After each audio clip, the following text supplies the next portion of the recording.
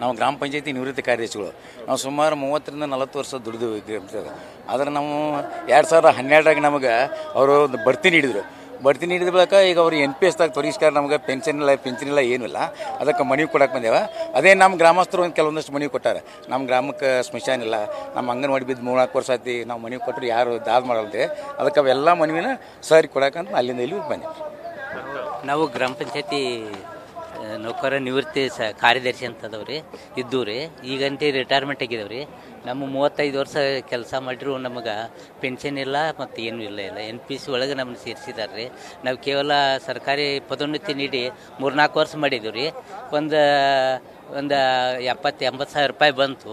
ಅದರಿಂದ ನಮ್ಮ ಜೀವನ ಉಪಾಯ ಆಗಕ್ಕೆ ತಯಾರಿಲ್ಲ ರೀ ಅದಕ್ಕೆ ನಾವು ಅದನ್ನು ಮನವಿ ಕೊಡೋದು ನಾಗರಾಜ್ ಅಂತ ಹೇಳಿ ಬಿ ಡಿ ಎನಲ್ಲಿ ನನಗೆ ಎರಡು ಸಾವಿರ, ಎರಡು ಸಾವಿರದ ಒಂದರಲ್ಲಿ ಸೈಟ್ ಅಲಾಟ್ ಆಗಿತ್ತು. ಹಾಲ್ನಹಳ್ಳಿ ಕೆರೆ, ಜೆ ಪಿ ನಗರ ನೈನ್ತ್ ಫೇಸಲ್ಲಿ ಆಗ ಐದಡಿ ನೀರು ನಿಂತ್ಕೊಂತ ಇತ್ತು. ಬದಲಿ ಕೊಡಿ ಅಂತ ಕೇಳಿ ಕೇಳಿದರೆ ರಿಜೆಕ್ಟ್ ಮಾಡಿದರು. ಆಮೇಲೆ ಮತ್ತೆ ಕಮಿಷನರ್ ಎಲ್ಲ ಬಂದ್ಬಿಟ್ಟು ಲೋಕಲ್ ಎಂ ಎಲ್ ಎ ಎಲ್ಲ ಬಂದು ಇದನ್ನ ಮಣ್ಣು ತುಂಬಿ ರೆಡಿ ಮಾಡಿ ಅಂತ ಹೇಳಿದ್ರು. ಮೂರು ಕೋಟಿ ಎಂಬತ್ತು ಲಕ್ಷಕ್ಕೆ ಎಸ್ಟಿಮೇಷನ್ ಮಾಡಿ ಅಪ್ರೂವಲ್ಗೋಸ್ಕರ ಕಾಯ್ತಾ ಇದೆ. ಹಲವಾರು ಆಯುಕ್ತರು ಬದಲಾವಣೆ ಆದರೂ, ಅಧ್ಯಕ್ಷರು ಬದಲಾವಣೆ ಇದ್ರೆ, ಎಲ್ಲರಿಗೂ ಅಪ್ಲಿಕೇಶನ್ ಕೊಟ್ಟೆ. ಈಗಲೂ ಕೂಡ ಅದು ಹಂಗೆ ಪೆಂಡಿಂಗ್ನಲ್ಲೇ ಇದೆ. ದಯವಿಟ್ಟು ಈಗ ಮಾಡಿಕೊಡಿ ಅಂತ ಹೇಳಿ ಕೇಳಕ್ಕೆ ಬಂದಿದ್ದೆ. ನನ್ನ ಹೆಸರು ಯಶೇ ಬೂದೇಳ ಬಾಲ್ಕೋಟ್ ಜಿಲ್ಲೆ ಬೀಗಿ ತಾಲೂಕು.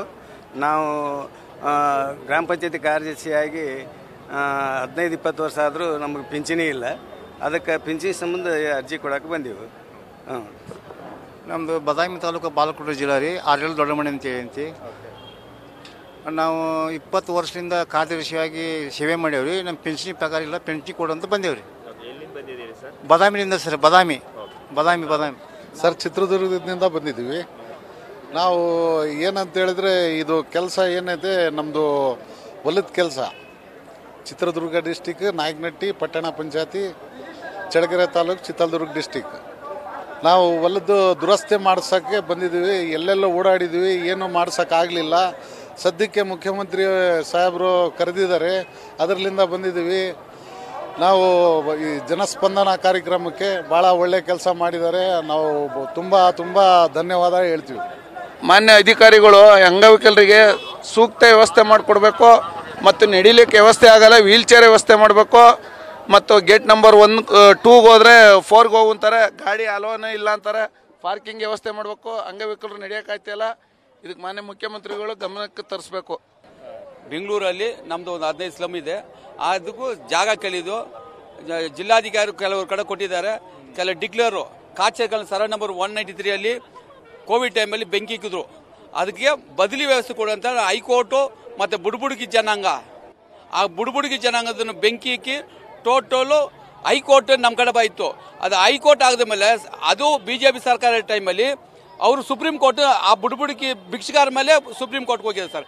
ಅದರಿಂದ ಮೊನ್ನೆ ಮುಖ್ಯಮಂತ್ರಿ ಹತ್ರ ಬಂದಿದ್ವಿ, ಅಲ್ಲಿ ನ್ಯಾಯ ಕೊಡ್ಬೇಕು ಅಂತ ಕೇಳ್ತಾರೆ ಸರ್. ಅಷ್ಟೇ ಸರ್. ನಾವು ದಾವಣಗೆರೆ ಜಿಲ್ಲೆಯಿಂದ ಬಂದಿವಿ ಸರ್. ಈ ಎರಡನೇ ಸರಿ ಬಂದಿರೋದು ಸರ್ ಮುಖ್ಯಮಂತ್ರಿ ಜನಸ್ಪಂದನ ಕಾರ್ಯಕ್ರಮಕ್ಕೆ. ಆ, ಬಂದಿರುವ ಜ ಹೊನ್ನಾಳ ಜ ದಾವಣಗೆರೆ ಜಿಲ್ಲೆ ಜ ಯಾವ ಪ್ರತಿಯೊಂದು ಅಧಿಕಾರಿನೂ ಯಾವುದೇ ಥರದಾದ ಇದು ಕಾರ್ಯನಿರ್ವಹಣೆ ಮಾಡ್ತಾ ಇಲ್ಲ. ಭಾಳ ಪ್ರಾಬ್ಲಮ್ ಆಗ್ತೈತೆ ಬಂದು ಬರೇ ಬರೋದು ಹೋಗೋದು ಖರ್ಚುಗಳೇ ಜಾಸ್ತಿ ಆಗ್ತದೆ ಅಧಿಕಾರಿ ವರ್ಗದವರು ಸಮಸ್ಯೆ ರುದ್ರಭೂಮಿ ಆಟೋ ಮೈದಾನ ಸಾರ್ವಜನಿಕರ ಒಂದು ಹಿತಾಸಕ್ತಿಗೆ ಮುಂಜೂರಾಗಿ ಸರ್. ಅದನ್ನ ಅದ್ಬಸ್ತ್ ಮಾಡಿ ಬಿಡುಗಡೆ ಮಾಡಿಕೊಡೋಕ್ಕೆ ಕೇಳಿದ್ವಿ. ಆ, ಇಲ್ಲಿವರೆಗೂ ಮಾಡಿಕೊಡ್ತಾ ಇಲ್ಲ ಸರ್. ಅಲ್ಲಿ ಬಂದು ಸ್ವ ಎಂಟ್ರಿನೇ ಕೊಡ್ತಾ ಇಲ್ಲ. ಜಿಲ್ಲಾಧಿಕಾರಿ ಅಲ್ಲಿ ಕಮಿಷನರ್ ಅಲ್ಲಿ ಇವರು ತಾಲೂಕಾ ಅಧಿಕಾರಿಗಳು ಯಾರೂ ಬಂದಿಲ್ಲ ಸರ್. ನಾವು ಒಂದು ಲಕ್ಷ ಬಹುಮಹಡಿ ಮುಖ್ಯಮಂತ್ರಿ ಯೋಜನೆ ಮನೆಗಳಿಗೋಸ್ಕರ ಬಂದಿದ್ದೀವಿ. ನಾವು ಎಲ್ಲ ಐದು, ಐವತ್ತು ಸಾವಿರ, ಒಂದು ಲಕ್ಷ ಕಟ್ಟಿ ಐದು ವರ್ಷ, ಆರು ವರ್ಷ ಆಗಿದೆ. ಇನ್ನೂ ಮನೆಯೂ ಕೊಡ್ತಾ ಇಲ್ಲ. ಇವಾಗ ರೇಟ್ ಅವಾಗ ಐದು ಲಕ್ಷಕ್ಕೆ ಅಂತ ಮಾಡಿದ್ರು. ಇವಾಗ ಹನ್ನೊಂದುವರೆ ಲಕ್ಷ ಮಾಡಿದ್ದಾರೆ. ನಮಗೆ ಬಡವರು ನಾವೆಲ್ಲ. ಕೂಲಿ ಮಾಡ್ತೀನವರು, ಮನೆ ಕೆಲಸ ಮಾಡೋರು ಅಷ್ಟಿಷ್ಟೊಂದು ದುಡ್ಡು ಕೊಟ್ಕೊಂಡು ನಾವು ಹೆಂಗೆ ಮನೆ ತೊಗೊಳಕ್ಕಾಗತ್ತೆ? ಇ ಎಂ ಐ ಅಂದರೆ ಎಂಟು ಸಾವಿರ, ಒಂಬತ್ತು ಸಾವಿರ ಬರುತ್ತೆ. ನಾವು ಬರೋದೇ ಹತ್ತು ಸಾವಿರ, ಎಂಟು ಸಾವಿರ ಸಂಬಳಗಳು. ಅದರಲ್ಲಿ ಅಷ್ಟಿಷ್ಟೊಂದು ಹೆಂಗೆ ಸರ್ ನಾವು ಕಟ್ಟೋಕ್ಕಾಗತ್ತೆ? ಅದಕ್ಕೋಸ್ಕರ ಎಲ್ಲರ ಹತ್ರ ತಿರುಗ್ತಾ ಇದ್ದೀವಿ ಕಡಿಮೆ ಮಾಡಿ ಕೊಡಿ ನಮಗೆ ರೇಟನ್ನು. ಎಲ್ಲರೂ ಬಡವರೇ ಮಾಡಿರೋದು ಇಲ್ಲಿ ಅಂತ. ಅದಕ್ಕೋಸ್ಕರ ಇವಾಗ ಸಿ ಎಂ ಅವ್ರನ್ನೂ ನೋಡೋಕ್ಕಂತಲೇ ಬಂದಿದ್ದೀವಿ ಸರ್ ನಾವು. ಇರೋರೆಲ್ಲರೂ ಬಡವರೇನೆ ನಾವು. ಸರ್, ನಾವು ಜರ್ಮನಿಯಿಂದ ಬಂದಿದ್ದೀವಿ. ಇದನ್ನು ಕುಂದುಕೊರತೆಗಳು ಹಿಂಗೆ ಸಮಸ್ಯೆ ಇದೆ. ನಮಗೆ ಎ ಸಿ ಆದೇಶ ಸಿವಿಲ್ ಆದೇಶ ಆಗಿದೆ. ಅದರಂತೆ ಖಾತೆ ಮಾಡಿಕೊಡಿ ಅಂತ ನಾವು ಚನ್ನಪಟ್ಟಣ ತಹಸೀಲ್ದಾರ್ಗೆ ಹಾಕಿದ್ದು. ಅವರು ಮತ್ತೆ ಸಿವಿಲ್ಗೆ ಹೋಗಿ ಅಂತ ನನಗೆ ತೊಂದರೆ ಕೊಡ್ತಾವ್ರೆ. ಆದ್ದರಿಂದ ನೇರವಾಗಿ ಇಲ್ಲಿ ಅರ್ಜಿ ಕೊಡಬೇಕು ಅಂತ ಬಂದಿದ್ದೀವಿ. ಅಷ್ಟೇ. ಮೊದಲೊಂದು ಸಾರಿ ಜನಸಂಧಾನ ಕಾರ್ಯಕ್ರಮ ಚನ್ನಪಟ್ಟಣ ಟೌನು. ಅಲ್ಲಿಂದ ಬಂದಿದ್ದೀವಿ. ಸರ್, ನಮಸ್ತೆ. ನಮ್ಮ ಹೆಸರು ರಾಜಮ್ಮ ಅಂತ. ಬೆಂಗಳೂರು ಬಂದು ಇಪ್ಪತ್ತು ವರ್ಷ ಆಯಿತು. ನಮಗೆ ಬಾಡಿ, ಬಾಡಿಗೆ ಮನೇಲಿ ಇರೋದು. ನಾವೀಗ ಒಂದು ಲಕ್ಷ ಕಟ್ಟಿ ಮೂರು ವರ್ಷ ಆಯಿತು. ಇವಾಗ ಏನಾಗಿದೆ ಅಂದರೆ ಅದಕ್ಕೆ ಬಡ್ಡಿನೂ ಕಟ್ಟಬೇಕು ಈಚರಿ ಬಾಡಿಗೆನೂ ಕಟ್ಟಬೇಕು ನಮ್ಗೇನಂದರೆ ನಮಗೆ ಫ್ರೀ ಕೊಡೋದು ಬೇಡ ಅವರು. ನಮಗೆ ಕಮ್ಮಿ ದರದಲ್ಲಿ ಮನೆ ಕೊಡಬೇಕು. ನಾವು ಎಷ್ಟು ಇಪ್ಪತ್ತು ವರ್ಷ ಆಯಿತು. ಇಪ್ಪತ್ತು ವರ್ಷದಿಂದ ಬಾಡಿಗೆ ಅಂದರೆ ಎಷ್ಟಾಯ್ತು ಹೇಳಿ? ಅದಕ್ಕೆ ನಮಗೆ ಕಮ್ಮಿ ದರದಲ್ಲಿ ಬಡ, ಮನೆ ಕೊಡಬೇಕು. ಆಮೇಲೆ ಇ ಎಂ ಅಷ್ಟೇ. ತುಂಬ ಹಾಕ್ಬಿಟ್ರೆ ಎಂಟು ಸಾವಿರ, ಐದು ಸಾವಿರ ಅಂತ ಹಾಕಿದ್ರೆ ನಮ್ಗೆ ಅಲ್ಲಿ ಕಟ್ಟೋಕ್ಕಾಗಲ್ಲ. ಕಮ್ಮಿ ದರದಲ್ಲಿ ಕಟ್ಟಬೇಕು ನಾವು ಸರಿನಾ? ನಮಗೆ ಅದಕ್ಕೋಸ್ಕರ ಫ್ರೀಗೋಸ್ಕರ ಮನೆ ನಮ್ಗೆ ಬೇಡ. ಅವರು ಒಂದು ಲಕ್ಷಕ್ಕೆ ಫ್ರೀ ಕೊಡ್ತಾರೆ ಅಂತ ಹೇಳಿದ್ದಾರೆ. ನಮ್ಗೆ ಆ ಯೋಜನೆ ಬೇಡ. ನಮ್ಗೆ ಐದೂವರೆ ಲಕ್ಷ ಮನೆ ಅಂತ ಇದೆ. ಒಂದು ಲಕ್ಷ ಕಟ್ಟಿದ್ದೀವಿ ಒಂದು ಮೂರು ಲಕ್ಷ, ನಾಲ್ಕು ಲಕ್ಷಕ್ಕೆ ಕೊಟ್ಟರೆ ನಮ್ಗೆ ತುಂಬ ಅನುಕೂಲ ಆಗುತ್ತೆ. ಅದನ್ನ ನೋಡೋಕ್ಕಂತಲೇ ಬಂದಿರೋದು ಈಗ. ದಯವಿಟ್ಟು ನಮ್ಗೆ ಕಮ್ಮಿ ದರದಲ್ಲಿ ಮನೆ ಕೊಡಿ. ನಾವು ಬಡವ್ರಿಗೆ ಮನೆ ಕೆಲಸ ಮಾಡೋದು. ಒಂದು ವಾರ ಮನೆ ಕೆಲಸ ಕೊಡಲಿಲ್ಲ ಅಂದರೆ ನಮ್ಗೆ ಬಾಡಿಗೆನೂ ಕಟ್ಟೋಕ್ಕಾಗಲ್ಲ. ಒಂದು ಇ ಎಂ ಇನೂ ಕಟ್ಟೋಕ್ಕಾಗಲ್ಲ. ಅದಕ್ಕೋಸ್ಕರ ನಾವು ಕೇಳ್ತಾ ಇರೋದೇನೆಂದರೆ ಕಮ್ಮಿ ದರದಲ್ಲಿ ಮನೆ ಮಾಡಿಕೊಡ್ಬೇಕು ನಮ್ಗೆ ಅಷ್ಟೇ ನಾವು ತುಂಬ ಬಡವರು. ಬೇಗ ನಮ್ಗೆ ಈ ತಿಂಗ ಮಂತಲ್ಲಿ ನಮಗೆ ಮನೆ ಬೇಕು ಸರ್. ಅದಕ್ಕೆ ಸರ್ ಸಾವಿರ ಭೇಟಿ ಆಗಲಕ್ಕ ಅಲ್ವಾ ಪೆನ್ಷನ್ ಎಲ್ಲ? ಪೆನ್ಷನ್ ಬರ್ತೈತ್ರಿ ಸರ್. ನಾನು ಸರ್ ಸ್ವಲ್ಪ Kagwad sir M L A sir ಎರಡು ಸಾವಿರದ ಹತ್ತೊಂಬತ್ತರಾಗ ರೀ ಲಕ್ಷ್ಮಣ್ ಸೌದಿ ಸಾವುಕಾರ ನಾನು ನಿಂತಿದ್ದೆ ರೀ. ಅವರು ಬಿದ್ದರು ನಾವು ಬಿದ್ದರು ಸುಮ್ ಸಾವಿರ ಭೇಟಿಗೆ ಬರ್ಬೇಕು ನಾವು ಹಾಸನ ಜಿಲ್ಲೆ ಸಿಕ್ಕರೆ ಗಣಸಿ ತ ಗಣಸಿ ಗ್ರಾಮದವರು. ನಮಗೆ ಊರಲ್ಲಿ ಮನೆ ಮಠ ಏನೂ ಇಲ್ಲ.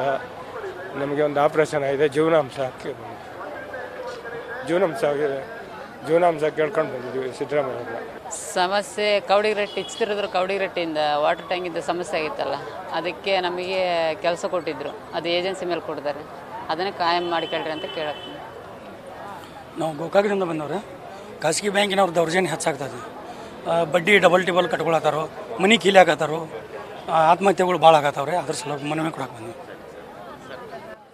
ನಮ್ಮದು ಬಿಡಿಯೋದು ಡಿ ಎದು ಎರಡು ಸಾವಿರದಲ್ಲಿ ಅಲರ್ಟ್ ಆಗಿ ರಿಜಿಸ್ಟ್ರೇಷನ್ ಆಗಿ ಮತ್ತೆ ಅದನ್ನು ವಾಪಸ್ ತೊಗೊಂಡ್ಬಿಟ್ಟು ಬೇರೆ ಆಲ್ಟರ್ನೇಟಿವ್ ಕೊಟ್ಟರು ಅದನ್ನು ರಿಜಿಸ್ಟರ್ ಮಾಡಿಕೊಡ್ತಿಲ್ಲ. ಇಪ್ಪತ್ನಾಲ್ಕು ವರ್ಷ ಆಯಿತು. ತುಂಬ ಸಮಯ ಅಲ್ದು ಅಲ್ದು ಅಲ್ದು ಸಾಕಾಗೋಗಿದೆ ಬಿ ಡಿ ಎಗೆ ಏನೂ ಆಗ್ತಾ ಇಲ್ಲ. ಕೋರ್ಟ್ ಕಂಟೆಂಪ್ಟ್ ಹಾಕಿದ್ರೂ ಅವರು ಫೈಲ್ ಮಾಡಿಬಿಟ್ಟಿದ್ದಾರೆ. ಬೇರೆ ಕಡೆ ಕೊಟ್ಟಿದ್ದೀವಿ ಅಂತ. ಅದೇನು ಕಮ್ಯುನಿಕೇಷನ್ ಇಲ್ಲ. ಹೋದರೆ ಯಾವ ಸೀಟಲ್ಲೂ ರೆಸ್ಪಾನ್ಸ್ ಇರೋಲ್ಲ. ಇಪ್ಪತ್ನಾಲ್ಕು ವರ್ಷದಿಂದ ಅಲೆಯೋದೇ ಆಗೋಗಿದೆ. ತುಂಬ ಕಷ್ಟ ಕೊಡ್ತಿದ್ದಾರೆ. ತುಂಬ ಕಷ್ಟ ಕೊಡ್ತಿದ್ದಾರೆ. ಒಂದು ಟೇಬಲಲ್ಲೂ ಎಲ್ಲೂ ಏನು ಸರಿಯಾಗಿ ನ್ಯಾಯ ಸಿಗ್ತಿಲ್ಲ. ಕಮಿಷನರ್ ಹತ್ರ ಎಷ್ಟೋ ಸಾರಿ ಹೋಗಿದ್ದೀನಿ. ಮೊದಲೆಲ್ಲ ಕಮಿಷನರ್ಸು, ಶ್ಯಾಮ್ ಭಟ್ಟು ಎಲ್ಲರ ಹತ್ರನೂ ಹೋಗಿದ್ದೀನಿ. ಇದುವರೆಗೂ ಆಗಿಲ್ಲ. ಲಾಸ್ಟ್ ಟೈಮು ಇಪ್ಪತ್ತ್ಮೂರರಲ್ಲಿ ಒಂದು ಸಾರಿ ಅಕ್ನಾಲೇಜ್ಮೆಂಟ್ ಕೂಡ ಕೊಟ್ಟಿದ್ದಾರೆ. ಕಳಿಸ್ತೀವಿ ನಿಮಗೆ. ಇಮಿಡಿಯೇಟಾಗಿ ಇದುವರೆಗೂ ಬಂದಿಲ್ಲ. ಸರ್ ನನ್ನ ಹೆಸರು ಹನುಮಂತಪ್ಪ ಅಂತಂದೇಳಿ. ಅನುದಾನಿತ ಪ್ರೌಢಶಾಲೆಯ ಶಿಕ್ಷಕ ಹೆಡ್ಮೇಸ್ಟ್ರು ಎರಡು ಸಾವಿರದ ಹನ್ನೊಂದರಲ್ಲಿ ನನ್ನ ಶಾಲೆಯ ಆಡಳಿತ ಮಂಡಳಿ ಅನ ಅನವಶ್ಯಕವಾಗಿ ನನ್ನ ಸಸ್ಪೆಂಡ್ ಮಾಡಿದರು. ನಮ್ಮ ಗುಲ್ಬರ್ಗ ಕಮಿಷನರ್ ಅವರು ನನ್ನ ಅಮಾನತನ್ನು ರದ್ದುಪಡಿಸಿ ನನಗೆ ಪುನಃ ಮುಖ್ಯ ಗುರುಗಳು ಅಂತಂದೇಳಿ ಕೊಡಬೇಕು ಮತ್ತು ಅರಿಯರ್ಸ್ ಕೊಡ್ಬೇಕಂತಂದೇಳಿ ಆದೇಶ ಮಾಡಿದ್ರು ಸಹ. ಇವತ್ತಿನವರೆಗೆ ನಾನು ಸಿದ್ದರಾಮಯ್ಯ ಸರ್ ಅವರಿಗೆ ಮೂರು ಸಲ ಈಗ ಮೆರವಣಿಗೆ ಕೊಟ್ಟು, ಕೊಟ್ಟಿನಿ. ಇನ್ನೂ ನನ್ನ ಸಮಸ್ಯೆ ಬಗೆಹರಿದಿಲ್ಲ. ಆದ ಕಾರಣ ನಾನು ಈಗ ಎರಡು ಸಾವಿರದ ಇಪ್ಪತ್ತೊಂದರಲ್ಲಿ ನಾನು ನಿವೃತ್ತಿ ಆಗಿನಿ ನಿವೃತ್ತಿ ವೇತನ ಕೊಟ್ಟಿಲ್ಲ ಅರಿಯರ್ಸ್ ಕೊಟ್ಟಿಲ್ಲ. ಆದ ಕಾರಣ ದಯವಿಟ್ಟು ಮುಖ್ಯಮಂತ್ರಿ ಸರ್ ಅವರು ಈ ಮೂರು ಸಲ ಕೊಟ್ಟರಂಥ ಅರ್ಜಿಯನ್ನು ಬಗೆಹರಿಸ್ಬೇಕಂತಂದೇಳಿ ತಮ್ಮಲ್ಲಿ ಕಳಕಳಿಯ ಮನವಿಯನ್ನು ಮಾಡಿಕೊಳ್ತಾ ಇದ್ದೀನಿ ಸರ್. ಧನ್ಯವಾದ.